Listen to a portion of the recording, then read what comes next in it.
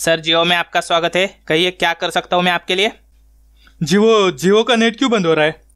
जी क्योंकि उसका जो हैप्पी न्यू ईयर ऑफ़र था ना वो सिर्फ़ इकतीस मार्च तक था इसलिए। लेकिन हैप्पी न्यू ईयर तो इकतीस दिसंबर को होता है। जी वो हमारा ऑफ़र एक्सटेंड किया गया था इसलिए। किसने किया था एक्सटेंड जी वो मुकेश अंबानी ने। उसका कैलेंडर क्या इकतीस मार्च को खत्म होता है? जी वो मुझे नहीं पता। आपको अगर ये ऑफ़र चालू रखनी है तो जियो प्राइम का रिचार्ज करना होगा तीन सौ तीन का।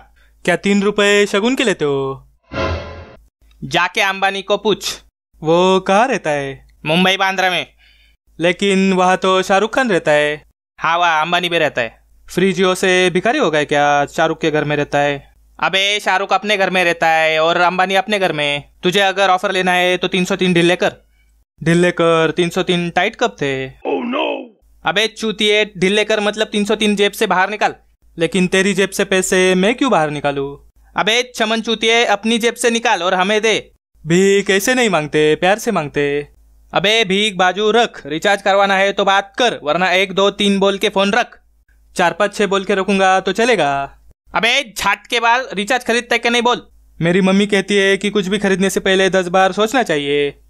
तो फ़ोन रख और सोच मेरे काम में टांग मत डाल। लेकिन टांग तो चड्डी में डालते। तो चड्डी में डाल। लेकिन मेरी टांग तेरी चड्डी में क्यों डालू? अबे अपनी चड्डी में डाल। तू प्लीज़ ये फ़ोन रख मेरे को शांति चाहिए। लेकिन शांति आज काम पे आई नहीं। अबे चूत के रखन ज़्यादा सवाल मत कर। मेरे गुस्से का पारा चढ़ रहा है। सीढ़ी से चढ़ रहा है या लिफ्ट से? अभी एक भी सवाल पूछा ना तो दुश्मनी हो जाएगी। अगर दो पूछू तो मैं आत्महत्या कर लूँगा।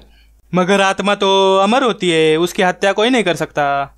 मेरे बाप नहीं करूँगा आत्महत्या। तूने मुझे नया जीवन दिया है बस। नया जीवन मिला है तो पुराने जीवन का क्या करेगा? गांड में डालूँगा, फ़ोन रख। अपनी गांड में डालेगा या अंबानी के।